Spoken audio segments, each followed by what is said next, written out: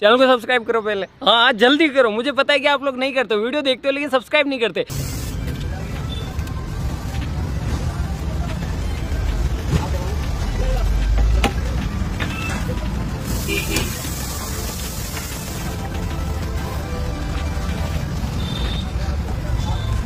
आगे नमक लाल मिर्च कुटी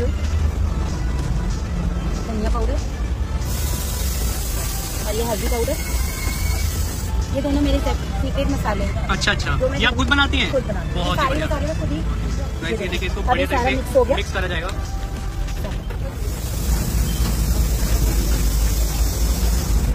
अब इसमें ये हमारा एकदम जिसको पकाया हुआ तेल है चढ़ाया हुआ जिसको अच्छा, अच्छा। ये सरसों के तेल में ही कुक होता है खड़े मसाले सरसों का तेल और कोयला। चार इसके मेन पार्ट एकदम साबुत लहसन जाता है। हाँ साबुत लहसुन जाते हैं। ये देखिए अब इसका कलर देखें आप।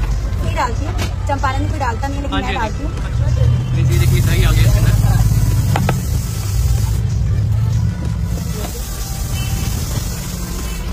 गया इसके ऊपर मिट्टी क्यों लगाई जाती है? इससे हमारा मटन जलता नहीं है। अच्छा अच्छा। तो गाइस ये देखिए हांडी आ गई है। अब इसके अंदर मटन भरा जाएगा गार्निश के लिए। ये देखिए गाइस पहले इसको मिट्टी है। पहले इसमें मिट्टी लगाइए। हाँ जी हाँ जी। सपोर्ट के लिए। अच्छा। अब ये गार्निश के लिए मटन को पकड़ ले जले बहुत ही तो हांडी के अंदर मटन भरा जाएगा दो किलो आता है इसमें। अच्छा अच्छा।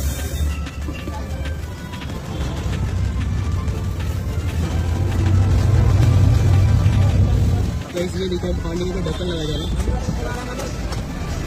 गाइस ये देखिए ऊपर आटा लगा दिया है। क्वांटिटी इतना की टाइट हो जाए बल्कि तो पक जाए। हाँ ये इसको पैक करने के लिए। ये पैक हो गई बड़ी साइज़ से पैक हो गया